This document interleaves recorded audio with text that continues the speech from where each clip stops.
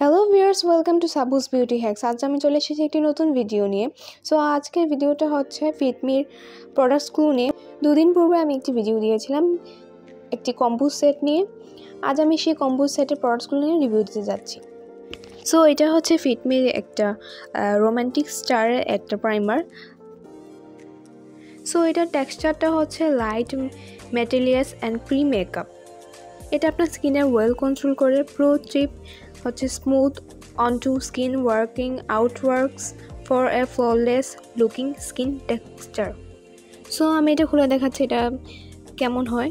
এটার টেক্সচারটা খুবই সুন্দর অ্যান্ড এটা খুবই ফ্ললেস মেকআপ দেওয়ার জন্য একটা ভালো প্রোডাক্ট সো আপনারা দেখতেই পাচ্ছেন, আমি এটা খুব আলতোভাবে মেসেজ করেছি আপনাদের যে যে জায়গায় পিগমেন্টেশন হয় মেকআপের পূর্বে, আপনারা সেই জায়গাগুলো খুব ভালোভাবে এটা দিয়ে দিতে পারেন। যেমনটা নাকের সাইজে বা যে যে জায়গায় ঘেমে যায় মেকআপের পূর্বে, সেই জায়গাগুলোতে আপনার প্রাইমার ইউজ করতে পারেন। যাদের ওয়েলি স্কিন তারা অবশ্যই মেকআপের পূর্বে চেষ্টা করবেন প্রাইমার ইউজ করার জন্য। সো আমার হাতের প্রোডাক্টটা হচ্ছে pro conceal HD high definition LA গার্লের একটা কনসিলার যেটার শেডটা মেবি ওয়ান বা টু সো এই কনসিলারটা খুবই ভালো। আমি পার্সোনালি নিজেও এই কনসিলারটা ইউজ করি। সো আমি আপনাকে দেখাচ্ছি কনসিলারটা কেমন হয়। জাস্ট টেক্সচারটা অনেকটা এরকম। আমি প্রাইমারের উপরেই এই কনসিলারটা ইউজ করে আপনাদেরকে দেখাচ্ছি। কনসিলার দেওয়ার পর আপনারা কোনো বিউটি ব্লেন্ডার বা কোনো পাপ দিয়ে চেষ্টা করবেন এভাবে আলতোভাবে কনসিলারটাকে সেট করে নেওয়ার জন্য। সো আপনাদের যাদের চোখে নিচে ডার্ক সার্কেল রয়েছে, আপনারা তার এই কনসিলারটি ইউজ করতে পারেন এবং আইব্রো সেটের জন্য আপনারা এই কনসিলারটি ইউজ করতে পারেন। কনসিলারটা খুবই ভালো। সো গাইজ আপনাদের যাদের চোখে নিচে ডার্ক সার্কেল রয়েছে এবং তারা এইভাবে কনসিলারটি ইউজ করতে পারেন সো আপনারা দেখতেই পাচ্ছেন এটার আউটলুকটা খুবই সুন্দর এবং ভালো ফিনিশিং হয়েছে। সো আমি ফিটমির প্রাইমার অ্যান্ড কনসিলার রিভিউটা দিলাম। এখন হচ্ছে ফিটমির ফেস পাউডার অ্যান্ড ফাউন্ডেশন রিভিউটা দিতে চাচ্ছি। ফাউন্ডেশনটা হচ্ছে ফিটমির রোমান্টিক স্টার একটা matte progress and normal to oil স্কিনের জন্য। এটা থ্রি ফিফটির মধ্যে। এটা আপনার নর্মাল থেকে ওয়েল স্কিনের জন্য আপনার খুবই ভালো কাজ করবে। যদিও এটা দেওয়া যে ম্যাট প্রোগ্রেস বাট এটা ইউজ করার পর আমার কাছে সেরকম ম্যাট মনে হয়নি।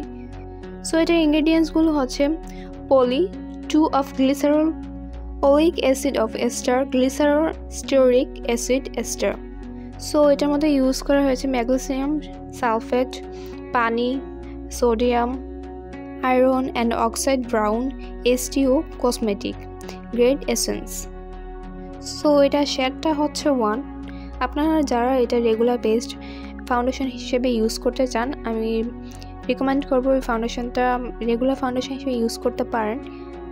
এতে আপনার কোনো হেভি লুক পাবেন না জাস্ট একটা ক্লাসি সিম্পল লুকের জন্য এই ফাউন্ডেশনটা ইউজ করতে পারেন। এই ফাউন্ডেশনটা দিয়ে একটা নর্মাল বেসড মেকআপ করা যাবে সো আমি এটা খুলে দেখাচ্ছি।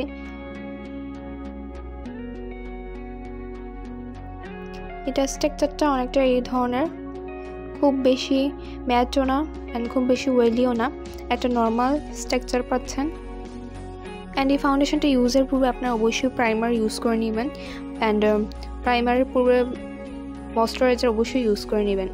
সো আপনারা দেখতেই পাচ্ছেন খুবই সিম্পলি এটা ব্ল্যান্ড হয়ে যাচ্ছে আপনারা একটি ফোমিং ব্ল্যান্ড বা ব্ল্যান্ডার নিয়ে।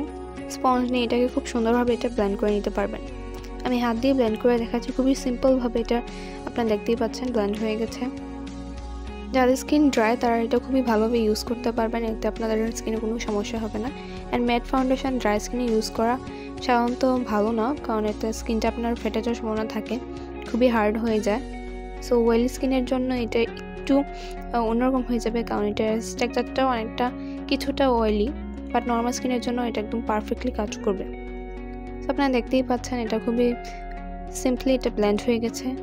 সো আপনারা ডিফারেন্সটা দেখতেই পাচ্ছেন আমার এই স্কিনটা এবং ফাউন্ডেশন অ্যাপ্লাইয়ের পর স্কিনটার মধ্যে অল ওভারঅল আমার কাছে ভালোই লেগেছে, কিন্তু এটা ওয়েল স্কিনে ইউজের পর কেন জানি এটা টক্সিনগুলো থেকে খুব তাড়াতাড়ি ওয়েলটা অবজাস্ট হতে শুরু করে।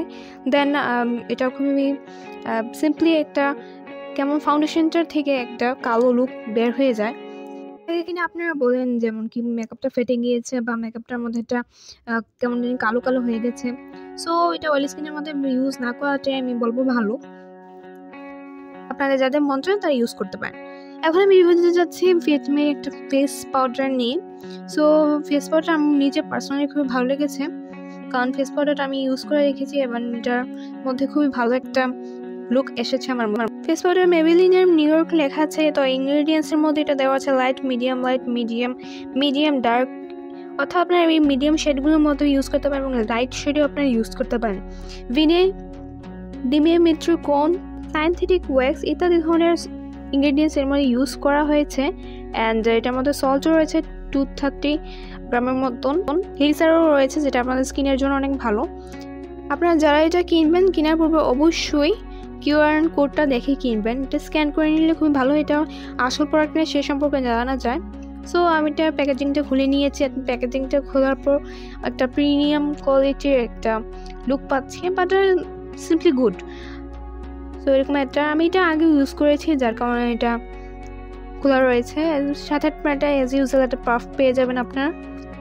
সো পাফটা দিয়ে আমি আমার এই যে কিছুক্ষণ আগে যে ফাউন্ডেশন দিয়ে আমি একটা স্কিনে দিয়েছি, আমি সেটার উপর আমি একটু ড্যাপ করে দিয়ে নিচ্ছি।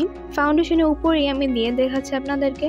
সো আপনারা দেখতেই পাচ্ছেন এটার লুকটা খুবই সিম্পলি এটার মধ্যে একটা ব্রাইট লুক দিয়েছে। আপনারা যারা এই ধরনের ফেস পাউডার ইউজ করবেন, অবশ্যই খেয়াল রাখবেন ফেস পাউডার ইউজ করার পর আপনাদের জন্য একটা সেটিং স্প্রে ইউজ করতে পারেন।